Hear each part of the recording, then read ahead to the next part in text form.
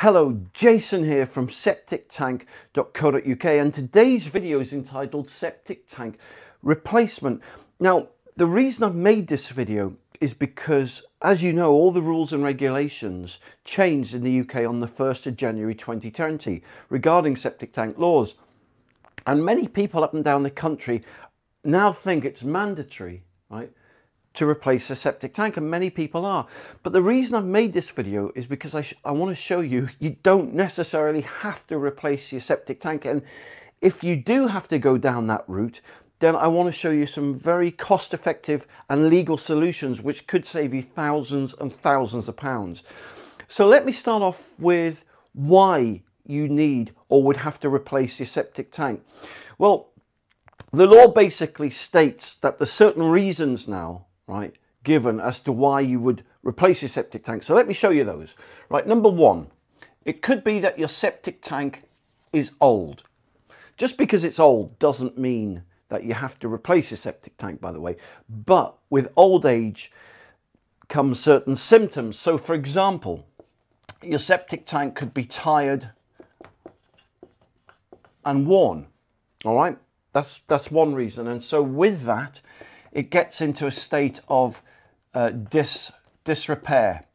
So let's say it was made from, um, I'm not even sure that's the right spelling, but you get the point, right? Um, let's say it was made from bricks and mortar. Maybe the mortar started to, you know, fall out and the bricks are starting to fall down and it's starting to collapse. Well, that would be a good reason to replace your septic tank. Other reasons, right? Maybe it smells. You know, whenever you, no matter what you do, no matter how much disinfectant and bleach you put down the loos or put down the septic tank, it just smells, right? So that's a, a good indication that your septic tank is leaking, right? Either leaking into the soil um, that's around the septic tank, or maybe it's bubbling up to the surface, you know, so on the grass, there's soggy patches of water above the septic tank or the soakaway. These are other reasons to replace your septic tank. Another reason is that it's too close to a watercourse.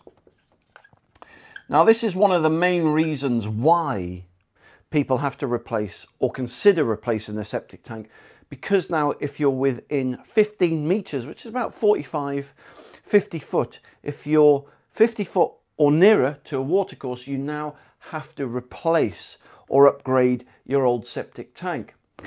So those are some typical reasons why you'd have to replace your septic tank. Now, the next question you need to ask is, if I'm going to replace my septic tank, what are my options? Well, option one is to completely replace your old septic tank and soakaway with a new one. So if we put here, replace with new septic tank and soakaway. So this is a popular route that many, many people go down, right? And typically, if you get three firms in, which I would recommend, by the way, to get three quotes, then you can, you know, obviously go with not just the cheapest quote, but the firm that you feel you've got confidence in carrying the job out to your satisfaction. But so, but typically, option one will cost you anywhere from say eight to twelve thousand pounds. All right, so that's option one. Option two. Let's say you lived near a watercourse. You know this. You, you know your sewage system was located near a watercourse, or you wanted to go for a posher system. That system is called a sewage treatment plant. Right, in fact, it's called a domestic sewage treatment plant, okay? And so basically the difference between that and a septic tank is um, all the poo and the wee goes into it and it bubbles and churns around and does all kinds of stuff. And the discharge is a lot cleaner right? So you can put it straight into a river a stream or a watercourse right?